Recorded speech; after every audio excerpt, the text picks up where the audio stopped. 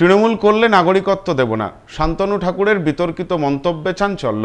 ওরা ভারতকে ভাগ করতে চাইছে। এটা তার চক্রান্ত। পাল্টা মন্তব্য করলেন তৃণমূলের বনগা লোকসভার প্রার্থী বিশ্বজিৎ দাস। তৃণমূলের লোকেদের আমরা নাগরিকত্ব দেব না। গাইঘাটার পাঁচপোতায় এক নির্বাচনী প্রচারে এমন কথা বলেন বনগা লোকসভার বিজেপি প্রার্থী শান্তনু ঠাকুর। তার এই বক্তব্যের একটি ভিডিও ইতিমধ্যেই ভাইরাল হয়েছে। যদিও এই ভিডিওর সত্যতা যাচাই করেনি নিউজ নোম্যান্সল্যান্ড আপনারা সেলফ ডিক্লিয়ারেশন দেবেন, আর যখন ফিজিক্যাল ভেরিফিকেশন হবে, তখন আমাদের সাথে একবার দেখা করবেন। আমাদের সঙ্গে একবার দেখা করবেন বা আমরা আপনাদের বলে দেব, লোক পাঠিয়ে পাঠিয়ে কোথা দিয়ে কি করে আপনাদের কি করতে হবে। এখন সে কথা বলব না। টিএমসির লোকদের নিতে দেবেন না। একটা টিএমসির লোকদেরও আমরা নাগরিকত্ব দেব না। একটা টিএমসি কেও নাগরিকত্ব দেবো না, তারপর ওদের দেখাবো। ঠিক আছে? ওদের খ্যামটা নাচ কাকে বলে, তারপর ওদের দেখাবো। বড় বড় কথা না, মমতা বন্দ্যোপাধ্যায় যেন বাঁচায় তোদের। সেন্ট্রাল গভর্নমেন্টস এর রুল অবমাননা করলে কি হয়? আপনারা আমি বলছি গ্যারান্টি দিয়ে, একজন লোকেরও চাকরি যাবে না, একজন লোকেরও কর্মসংস্থানে কোনো ব্যাঘাত ঘটবে না, কারোর শিক্ষাক্ষেত্রে কোনো সমস্যা হবে না। ইভেন আমি নিজে অ্যাপ্লাই করব, আমি তো সাংসদ। শান্তনু ঠাকুরের এই বক্তব্যের ফলে রাজনৈতিকভাবে চাঞ্চল্য ছড়িয়েছে।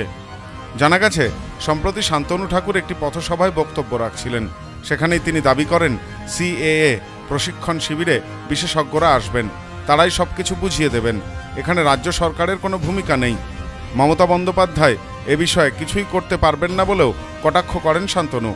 এই ভিডিও ভাইরাল হওয়ার পর বৃহস্পতিবার বনগায় নির্বাচনী প্রচারে এসে রোড শো করেন শান্তনু ঠাকুর। ভিডিও প্রসঙ্গে তাকে প্রশ্ন করা হলে তিনি বলেন, আমি সেদিন যা বলেছি, ঠিকই বলেছি। যারা সিএএ নিয়ে কুৎসা, অপপ্রচার করছে, তাদের আমরা নাগরিকত্ব দেব না। কেন্দ্রীয় সরকারের নীতি অমান্য করলে কি হয় বুঝিয়ে দেব বলেও হুঁশিয়ারি দেন কেন্দ্রীয় প্রতিমন্ত্রী। তৃণমূলের মা যিনি তিনি যদি বলেন ভোটার কার্ড আর রেশন কার্ড থাকলে নাগরিকত্ব, তাহলে তাই সই রে বাবা। এনআরসির সময় ঘাড় ধাক্কা দিয়ে বের করে দেওয়া হবে আর কি? ওর মার কাছ থেকে তখন, মার কাছ থেকে তখন ভোটার এই ভারত, ভারতবর্ষের নাগরিকত্ব নেবে। এটা শুনে রাখবেন, ভারতবর্ষের নাগরিকত্ব পশ্চিমবঙ্গের নাগরিকত্ব নয়। ব্যাপারটা বোঝার বিষয় আছে। পশ্চিমবঙ্গের নাগরিকত্ব হয় না, পশ্চিমবঙ্গ একটা আলাদা দেশ নয়। পশ্চিমবঙ্গ একটা যুক্তরাষ্ট্র, ভারতবর্ষের। এ বিষয়ে তৃণমূলের রাজ্যসভার সাংসদ মমতা ঠাকুর বলেন, শান্তনুর ক্ষমতা থাকলে করুন। আমাদের কথা ভাবতে হবে না। আমাদের জন্য মমতা বন্দ্যোপাধ্যায় আছেন। শোনো, আমরাও বলছি, শান্তনু ঠাকুর যদি হিম্মত থাকে, তাহলে আগে বিজেপির দিয়ে দেখাক। আমরা চাই বিজেপি নাগরিকত্ব পাক। তাহলে আমরা শান্তি পাবো। তৃণমূলের জন্য দেওয়ার কোনো চিন্তা ভাবনা করতে হবে না। তৃণমূলের জন্য দিদিও অনেক করেছে এবং করছে। উনি বলছে যে, আমার পশ্চিমবাংলায় আমি কাউরে হতে দেবো না। তা শান্তনু ঠাকুর, আমরা বলছি যে, হিম্মত থাকার জন্য তো বিজেপিরও করে দেখায় নিয়ে আসুক একটা, একজন। বিজেপিও লাগবে না শুধু শান্তনু ঠাকুরকে আগে ফর্মটা ভরুক আমরা সেটা চাই। এ বিষয়ে প্রতিক্রিয়া দিয়েছেন বনগা লোকসভার তৃণমূল প্রার্থী বিশ্বজিৎ দাস। তিনি বলেন ওরা ভারতকে ভাগ করতে চাইছে।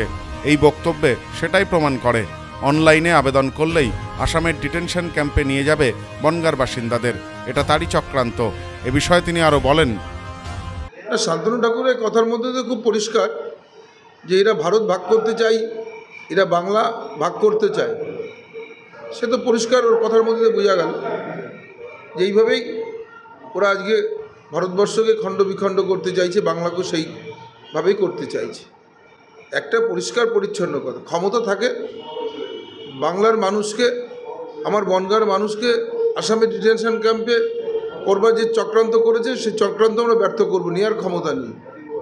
যেভাবে আমাদের ভোটার কার্ড ছিল বলে আধার কার্ড দিয়েছে, তেমনিভাবেই আমাদের ভোটার কার্ড রয়েছে নিঃস্বার্থ নাগরিকত্ব দিতে হবে।